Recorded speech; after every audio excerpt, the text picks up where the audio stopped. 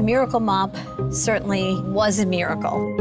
The history behind that is amazing. You know, to take something in your brain and actually create it where it hasn't been done before. Everybody felt that energy. Everybody felt that magic.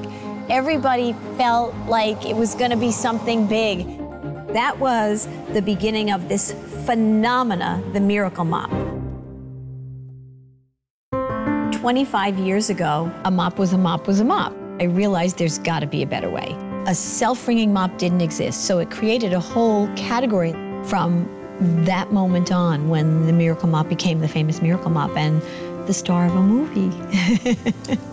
Watching her go down that journey of that first invention and getting it to come to a reality, you're so young at the time, but yet you know there's something so big going on. There were some times where I literally had the kids there with me. They were helping with the mop heads. We were there till three, four o'clock. You knew it would be big, but you just didn't know how big.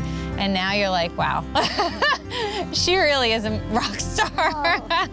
For us, really, what's exciting about it is that it was the first product to get the seal, and it was the one that sort of started this very rich journey.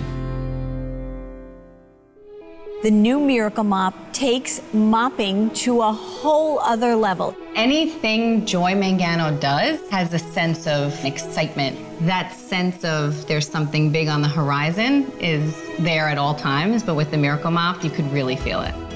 If I knew way back when, when I was sitting in this home here, there's no way I would believe anybody if they said, this is your life 25 years later.